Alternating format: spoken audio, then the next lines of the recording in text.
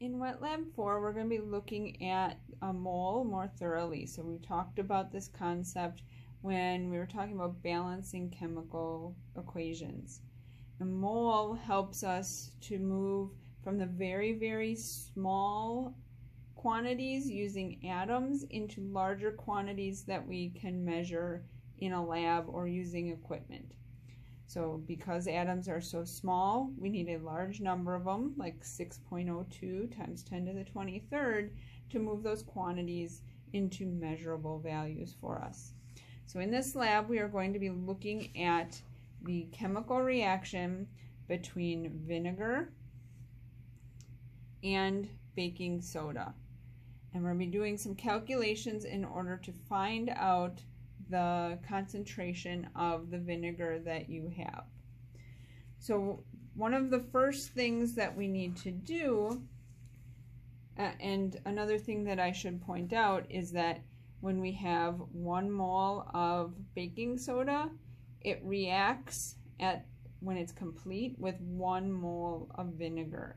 So in order to convert from the baking soda that we can measure into the vinegar that we're trying to find, we're going to have to remember that one mole of the baking soda produces or reacts with one mole of the vinegar. So this is a pretty handy reaction because um, we get carbon dioxide as a product and the carbon dioxide we can see bubble and we can hear it fizz. So once this reaction is complete, no more baking or no more um, carbon dioxide is going to be produced. So as soon as we see it stop fizzing and hear it stop fizzing, we know that we can stop our chemical reaction. Okay, so in order to do this chemical reaction, we do need to make sure that we have our goggles and we put them on. So I'm going to put them on. We are going to place a clean container on the balance and we're going to tare it or zero it. And then we want to add about 0.5 grams of baking soda. So you can use your baking soda in a, a spoon in order to add about 0.5 grams into our container. Now, as you're adding it, if any of it gets onto the sides of the container, we do want to make sure that we rinse that um, baking soda down into the container so it can react with the vinegar. Once we have an amount, and you don't have to have exactly 0.5, but you do want to record the mass accurately. So you want to record your mass, and then we can move our balance out of the way. We are also going to need about 25 milliliters of vinegar. So we're going to take our vinegar and we want to read the volume. We're going to add it. And then the exact amount is not essential. We want around 25 milliliters. But we do need to make sure that you read it accurately.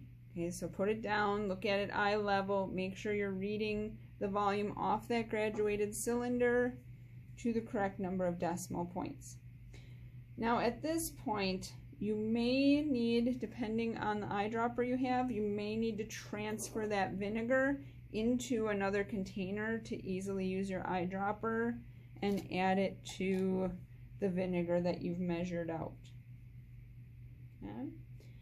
And then we are going to slowly add the vinegar drop by drop, making sure that we rinse down the sides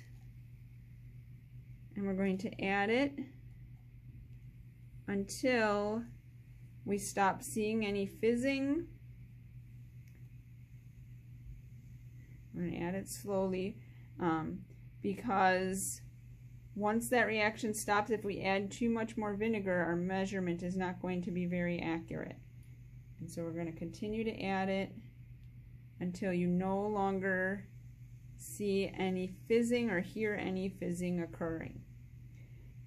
Once you've reached that point, our reaction is going to be complete.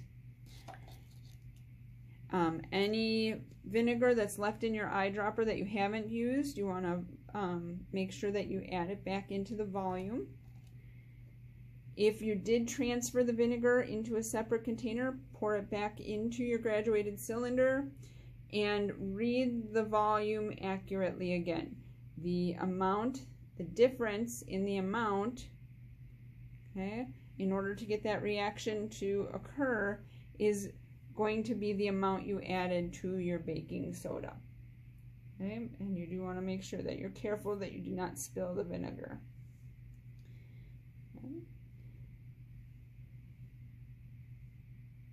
Okay. Once you have done that and you've recorded the amount from the graduated cylinder, so there is a collection sheet for you. You want to make sure you write down the mass of your baking soda.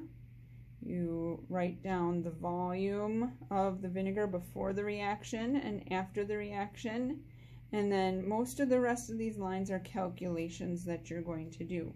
So you're going to use the molar mass where we add up the mass of each of the atoms in order to find the mass of the of the baking soda. Okay, and we can calculate the moles from that. We use our balanced chemical reaction to convert between moles of baking soda to moles of vinegar. We're going to find the volume that we used by subtracting the amount we started with from what was left and convert that to liters and then find our molarity. So molarity is a concentration unit that we are going to talk more about, and that is moles divided by liters. Okay, so once we know the moles of vinegar and we know the liters of vinegar that it took to that we added, we can calculate what our molarity is and find the average. Okay. You also want to make sure that you feel your container to see if it is warm or cold so you can decide if it is endothermic or exothermic. Once you have the first trial completed, you can clean up um, your container. The waste can get poured down the sink with water. The vinegar, um, that can also go down the sink with water if you have extra you're going to repeat the same thing that you did that I just showed you. You're going to repeat that entire procedure a second time to make sure that the molarity that we find and the measurements that we're making um, are reproducible. And then find the, we'll find the average of the two. There are some questions for you to consider about this experiment as well. If you at any point have any questions, please don't be afraid to reach out and I'm happy to answer any questions that you may have.